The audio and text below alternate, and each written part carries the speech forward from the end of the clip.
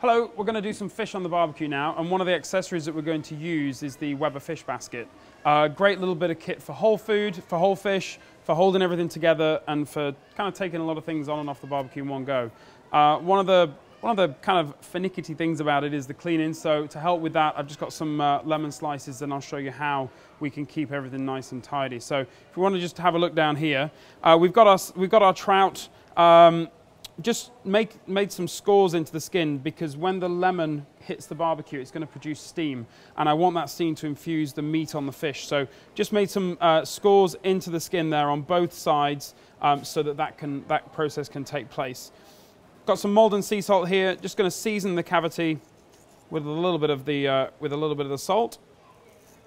Just to begin with, it's really important that we season our food. The next part over here, I've just got some lemon wedges. Just going to pop these into the cavity as well. These are just going to produce a nice aromatic and a nice level of moisture as well to steam the fish from the inside. And a few sprigs of tarragon as well. So I'm just going to pop those into the cavity. And again, a nice little aniseedy flavor that goes really nice with the lightness of the, uh, of the trout. So, slices of lemon. Make a little layer, make a little row of lemon, wed lemon slices down the center. And then just, because we've got two of these, we're going to do a second row. As I say, this is, this is going to go on a direct heat. It's going to, um, this is going to go over the direct heat on the, on the barbecue behind me.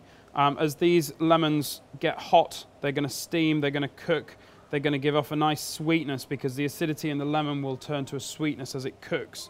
So just going to lay these over. And already we're starting to get a nice visual appeal. We've got a few little bits of tarragon left, so I'm just going to pop one down the center of the fish there. Then it's time to bring the, uh, the lid over, clamp that closed, and then it's ready to go on the barbecue. Really, really simple. So salt, tarragon, lemon, and the fish. And you could do this with sea bass if you wanted to as well. We've got a good temperature in here. We're around about 230 degrees C. We're going to grill this. You could bake it on an indirect heat.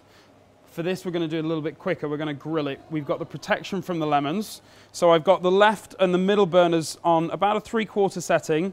So that's the left third and the center third that's lit. I don't need any extra heat from the third burner, so that's completely switched off. My grill's nice and clean, and the basket just goes on.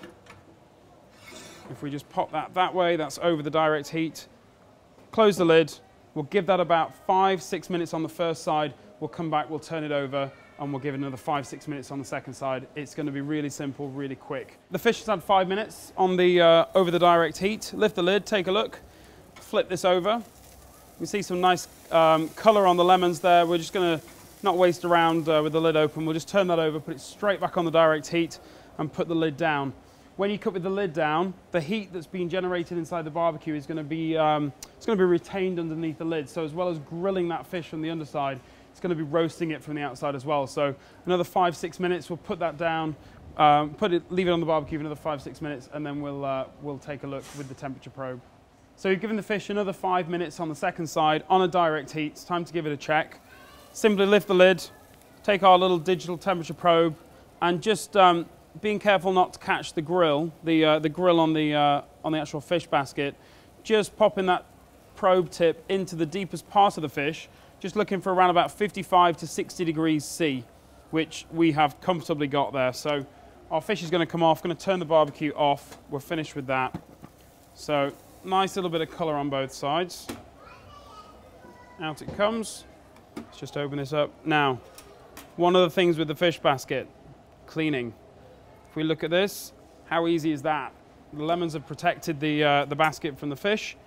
If you want crispy skin and you use a fish basket, you're going to leave most of it behind anyway. So let's just have a look at this fish. I can smell the freshness of the lemon. If we just pare this skin back a little bit, we can see the flesh is beautifully cooked, getting little hints of the tarragon as well, so nice and fresh aniseedy flavor. And then if I just peel that down, nice little bit of juicy, fresh uh, fish there, cooked all the way through. Let's have a taste. Mmm, nice fresh trout, simple flavors, lemon, tarragon, a little bit of salt.